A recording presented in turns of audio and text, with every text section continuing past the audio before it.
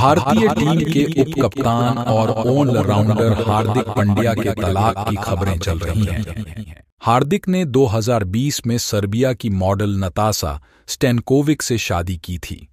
हार्दिक पिछले काफ़ी समय से चर्चा में चल रहे हैं। पहले आईपीएल में मुंबई इंडियंस की उन्हें कप्तानी मिली और इस पर जमकर बवाल हुआ। अब आईपीएल से मुंबई इंडियंस के बाहर होते ही हार्दिक निजी जीवन को लेकर चर्चा में है। रिपोर्ट्स की माने तो हार्दिक को तलाक के बाद नताशा को 70 प्रतिशत प्रॉपर्टी देनी होगी। नताशा ने अपने इंस्टाग्राम से हार्दिक पंड्या का नाम हटा दिया है। यही से दोनों के बीच अनबन की खबरों को हवा मिल गई। आईपीएल 2024 के दौरान नताशा किसी मैच में हार्दिक को सपोर्ट करने स्टेडियम भी नहीं पहुँची। वैलेंटाइन डे के बाद से नताशा ने अपने सोशल मीडिया पर हार्दिक पंड्या की कोई फ़ोटो शेयर नहीं की है।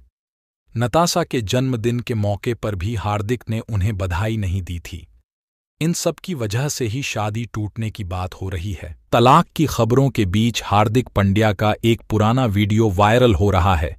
इसमें वह गौरव कपूर से बात कर रहे हैं। हार्दिक इस वीडियो में बोल रहे हैं कि उन्होंने सब कुछ अपनी माँ के नाम पर कर रखा है। हार्दिक वीडियो में बोल रहे हैं, सब मम्मी के नाम पर है। कार से लेकर घर तक सब कुछ। मेरा भरोसा नहीं है मैं मेरे नाम से नहीं लूँगा। मैं मैं मेरे नाम पे नहीं लूँगा मतलब मेरे नाम पे मैं नहीं लूँगा पचास परसेंट किसी को देना मुझे पचास प्रतिशत किसी और को नहीं देना है आगे जाकर मुझे बड़ा चुभेगा। दोस्तों ये खबर कितनी सच है ये तो वक्त ही बताएगा। आपको क्या लगता है ये कमेंट पे ज़रूर बताएँ। धन्यवाद।